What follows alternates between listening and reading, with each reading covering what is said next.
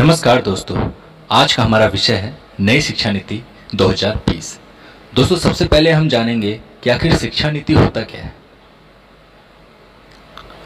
शिक्षा नीति।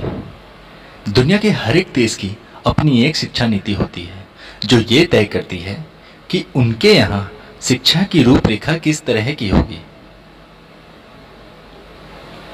राष्ट्रीय शिक्षा नीति एक ऐसा दस्तावेज़ होता है जिसमें आने वाले वर्षों में शिक्षा को लेकर सरकार द्वारा बनाई गई एक नीति होती है, जिसे कागज़ी रूप प्रदान किया गया होता है।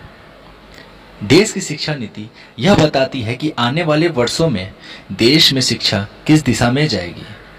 शिक्षा नीति देश की शिक्षा व्यवस्था को एक आकार प्रदान करता है।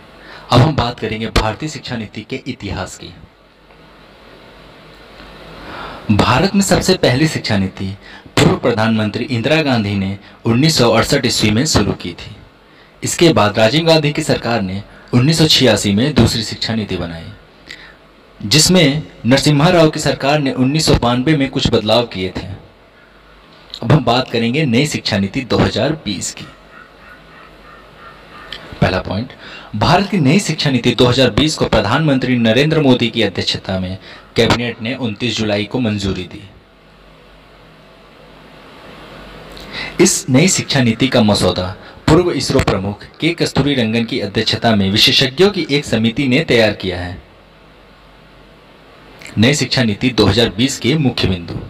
नई शिक्षा नीति 2020 में शिक्षा पर जीडीपी का 6 प्रतिशत खर्च किया जाएगा, जो कि अभी चार दशमलव चार तीन प्रतिशत है। अब पांचवी तक की शिक्षा मातृभाषा में होगी।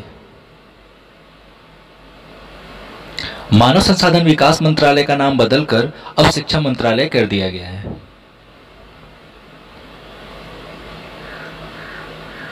लॉ और मेडिकल एजुकेशन को छोड़कर समस्त उच्च शिक्षा के लिए एक एकल निकाय के रूप में भारत उच्च शिक्षा आयोग एच का गठन किया जाएगा। अर्थात उच्च शिक्षा के लिए एक सिंगल रेगुलेटर रहेगा।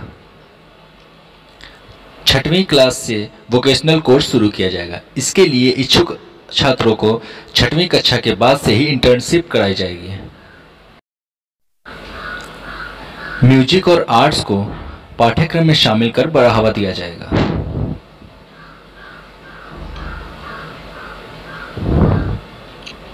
ई पाठ्यक्रम को बढ़ावा देने के लिए एक राष्ट्रीय टेक्नोलॉजी फोरम एन बनाया जा रहा है, जिसके लिए वर्चुअल लैब विकसित की जा रही है। वर्ष 2030 तक उच्च शिक्षा में फ़ीसद सकल नामांकन अनुपात GER gross enrolment ratio 50 percent पहुँचाने का लक्ष्य है, जो कि वर्ष 2018 में 26.3 प्रतिशत था। मल्टीपल एंट्री और एग्जिट सिस्टम मल्टीपल एंट्री और एग्जिट सिस्टम के तहत एक साल के बाद पढ़ाई छोड़ने पर सर्टिफिकेट दो साल के बाद डिप्लोमा और तीन से चार साल के बाद पढ़ाई छोड़ने पर डिग्री मिल जाएगी। इससे देश में बढ़ते ड्रॉप आउट के रेशियो में कमी आएगी।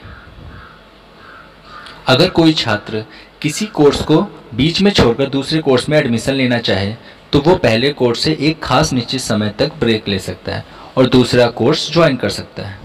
और इसे पूरा करने के बाद फिर से वह पहले वाले कोर्स को जारी रख सकता है। देश में शोध और अनुसंधान को बढ़ावा देने के लिए अमेरिका के एनएसएफ, नेशनल साइंस फाउंडेशन की तर्ज पर एक शीर्ष निकाय के रूप में नेशनल रिसर्च फाउंडेशन, एनआरएफ की स्थापना की जाएगी।